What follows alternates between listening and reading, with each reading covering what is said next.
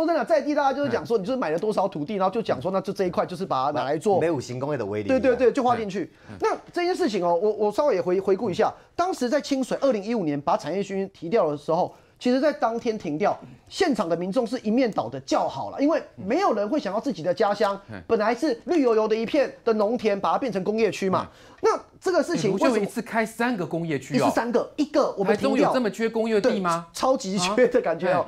那我我就说这争议真的是不断。我们回到清泉岗了哈，跟严家有关的。对，除了刚刚呢，呃，定义委员提到了，我们稍微也回顾一下哈，就是他的这一个组成的创立开发，我们看到董事长呃这位邱先生，他其实是一个零持股的负责人，就是俗称的人头啦。人头那背后的董事呢？这两位董事王先生跟李先生就是长春从化区的要角。那长春从化的背后就是彪哥的妹婿林方呃林方舟。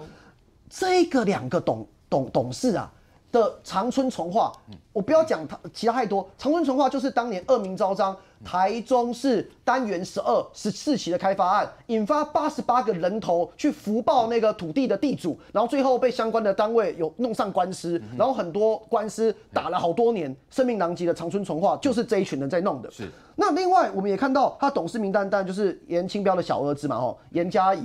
呃，听说他今年才三十一岁啊，就让我今年三十五岁，我就觉得我好像蛮一事无成的，人家那么年轻就可以嗯就可以当董事。那王松山当然就是严清标常年的生意伙伴跟好友嘛。那这整个呃整个整个那个那就是严家创立开发，班嘛，就是严家非常严家班老班底，对哎，又好进来这个开发区了，然后呢，我们刚才看到呃陈娇华委员他提到说。呃，很多的居民说没有接到通知啊，我们来看下最离谱的，这是当地居民交给我的，这是在七月召开的公听会，我们看到签到表，总共签到表只有三个人出席啊，一个是里长，一个是创意开发的代表，另外一个是叫太极拳股份有限公司，后来我们才知道。创意开发是投啦，然后委托给这名字很特别，太极拳哦，是泰国的泰嗯的这间公司来做执行。那太极拳这间公司我们也不要污蔑人啊，但是他的负责人就是几年前有行贿某南部镇长，然后后来被判刑两年多的负责人。老实讲，就一群有问题的人，嗯啊，就只有他们三个，呃，有签到。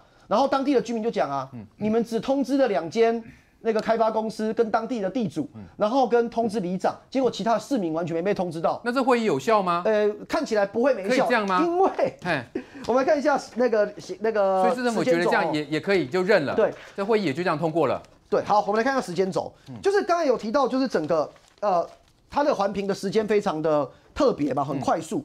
它在二零二零年八月三十一，私有的地主百分之百取得同意之后，接下来十月二十五号，业主开始搞地主开说明会，然后没有邀请在地居民，第一次在十月二十五号就引发在地居民的抗议。那一月份。这就是关键时间点的。我刚才讲了，创立开发跟严家的关系是在二零二一年一月更换相关的董监事名单，严家班正式的入主。那到了四月七号，这个是台中市水利局哦，它核准开挖地下水。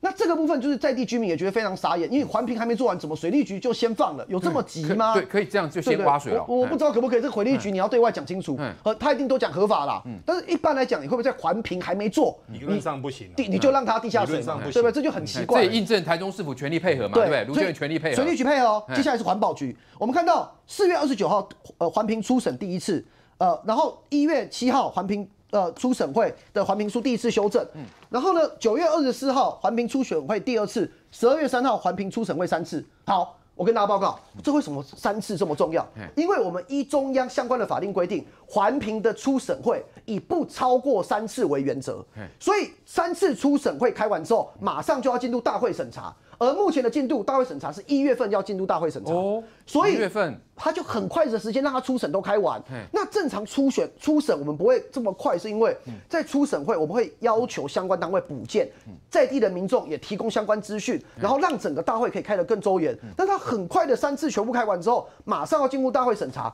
简单来讲，大会审查如果最后现场吵吵闹闹，然后最后环保局讲说通过，那就通过了，就通过了。就通过了。因为这个案哎子就涉及到刚才定义委员讲的，他把它限制在二十二公顷，没有超过三十公顷，法定要受中央的环节。是。而现在就是让台中市政府讲白了，可以只手遮天啊。嗯。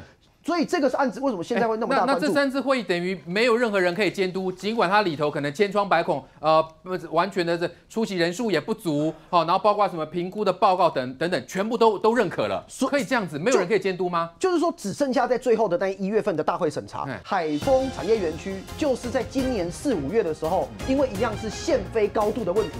台中市政府正式的跟国防部申请，可是后来被国防部打枪，然后夸张性来了，某位台中的国民党立委有去跟国防部关心这件事情，哦，而且关心这个个案，关心了之后，国防部有挺住，国防部严正的跟他拒绝。